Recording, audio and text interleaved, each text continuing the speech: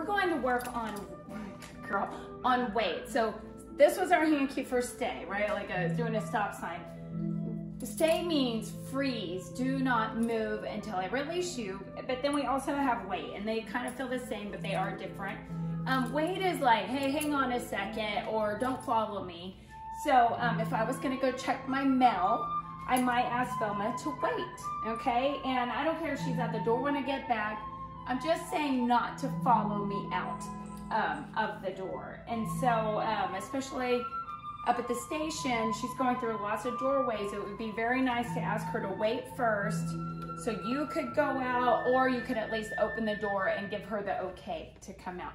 But this is her cue. It's just swinging your arm in front of her.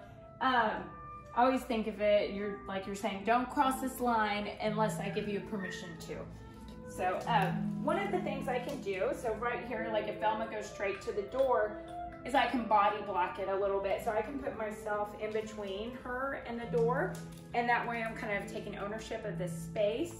Um, and it, you know, it just gives me um, a better chance to block her right here. So Velma, watch me. Wait.